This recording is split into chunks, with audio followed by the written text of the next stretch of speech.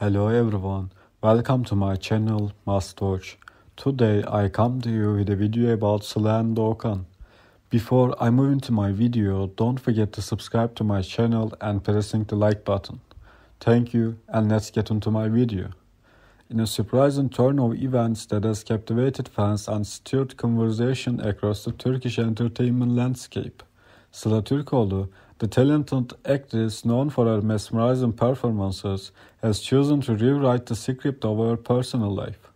The actress, who once took the public on a roller coaster of emotions with her relationship with Doğukan Güngör, has given love another chance, reigniting hopes for a renewed and reinvigorated connection. News of Sıla decision to rekindle her romance with Doğukan Güngör emerged like a breath of fresh air, catching fans and the media off guard. The couple, whose past relationship had faced its share of challenges and public scrutiny, found themselves in the spotlight once again, this time with the promise of a new beginning. The actress chose to make the announcement on her own terms, taken to her social media accounts to share a heartfelt post accompanied by a candid photo of the couple.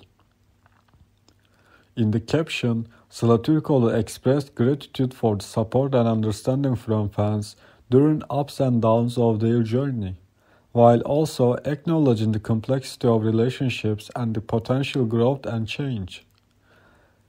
As news of the reconciliation spread like wildfire, social media platforms became a hub of excitement and celebration.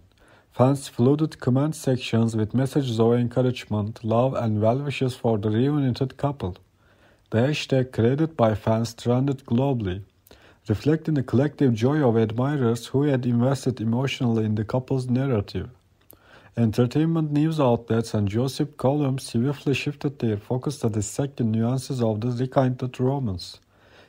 Experts weighed in on the dynamics of giving love a second chance, exploring the potential for growth and maturity in relationships, especially when played out in the public eye.